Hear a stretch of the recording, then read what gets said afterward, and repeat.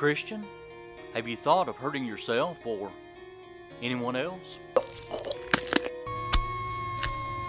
course not, no.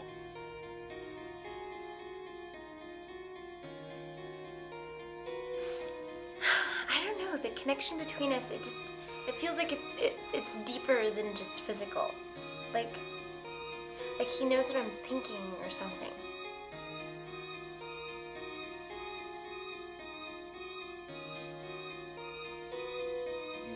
Shouldn't get into the habit of bringing strange men back to your home, especially in LA. Well, you seemed harmless.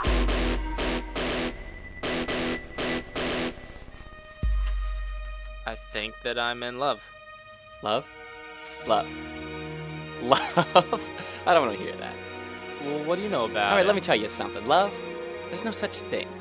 It may seem that way at first, but sooner or later they tear your heart out. They always do.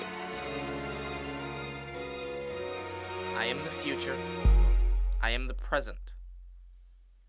I am here, and I am now. I am fate, and I am God.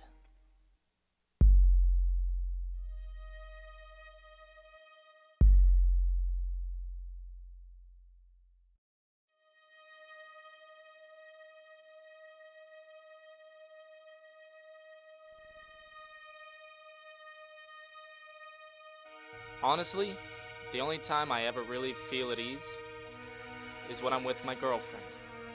She she levels me. But when she's at work or with her girlfriends, I don't know what to do with myself.